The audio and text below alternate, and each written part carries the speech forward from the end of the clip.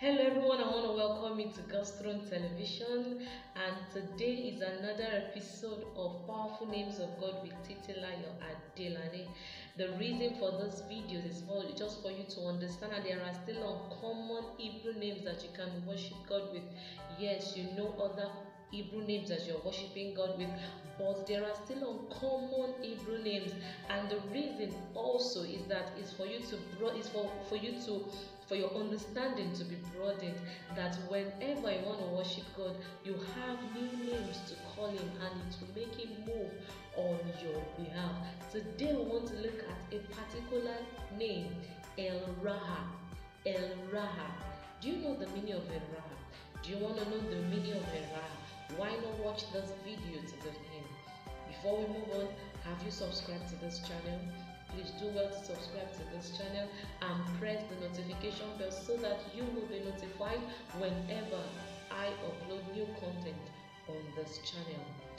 Let's wait. What is in El Raha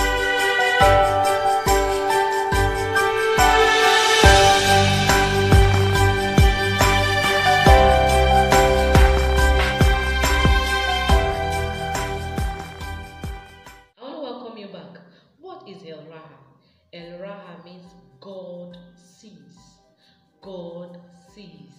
God sees. Now, this name is just for you to understand that our God is alive. As you see, so also God sees. In the book of Proverbs, chapter 15, verse 3, the Bible says, The eyes of the Lord are on every place, keeping watch on the evil and good. Now, this word El Raha, El means God, Raha then means sees, and it can be used in different contexts. In this particular verse I just read, Proverbs chapter 15, verse 3, the Bible says, God watches. He looks at every places. He looks at every angle. So he's keeping a watch on the evil and good of man. So which means God observe. So to see also means to observe. To see also means to observe. So God is observing.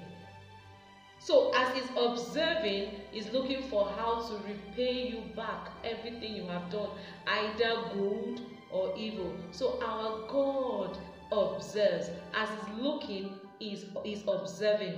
Another way this word El Raha is being used in another context is found in the book of 1 Samuel chapter 16, verse 7. And the Lord said unto Samuel, Look not on his countenance or on the height of his stature, because I have refused him. For the Lord seeth not as man seeth. For man looketh on the outward appearance, but the Lord looketh on the heart. So the eyes of the Lord perceives, the eyes of the Lord perceives. When God sees a man's heart, he knows the, the, the motive behind a man's heart. He knows the motive behind what a man is thinking. So when God sees, He doesn't just look at you at with an ordinary eye. He doesn't look at you with just looking at you without anything.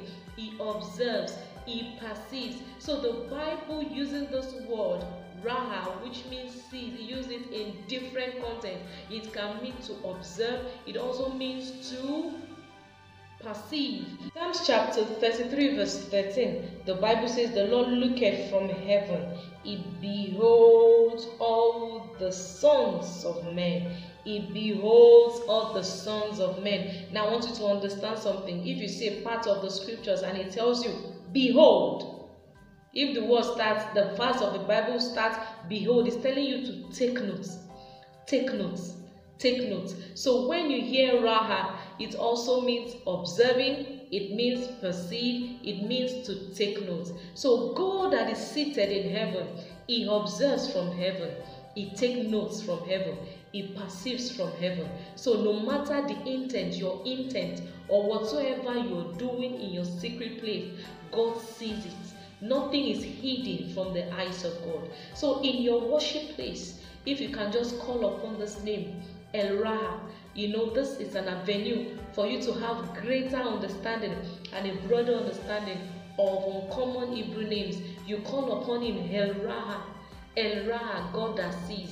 You know, God that sees, which means wickedness can never ever be hidden from God, which means wickedness can ever thrive. It can never ever thrive in the presence of God. So whenever you call upon El Raha, you are telling God that God expose every evil works. Another thing the eyes of the Lord does is that it gives a man direction. In the book of Joshua, chapter 5, verse 6, with the eyes of God watching and walking with you, you can never ever go astray. You go in the right path. It gives you direction. And once it gives you direction, you can never ever make mistake. In the book of Joshua chapter 5 verse 6, the eyes of the Lord gives direction. In the book of Ezekiel chapter 8 verse 13, the eyes of the Lord calls your attention to those things that are not clear to you at all. Once you see a thing and it is not even clear to you, the eyes of the Lord calls your attention to take note of this because our eyes as human being is limited.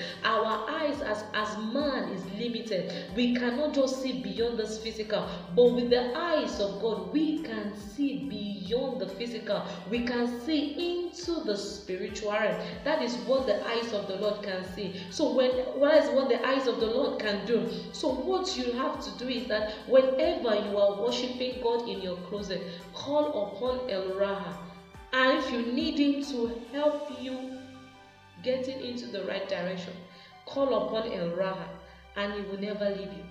I hope this video will help you. Have another name to your own quiver. Have another name to your own understanding. Have another name to worship God with in your closet.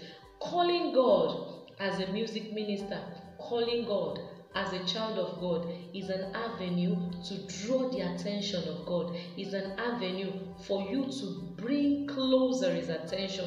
And when you call upon him, when you draw his attention closer to you, he listens, he hears you.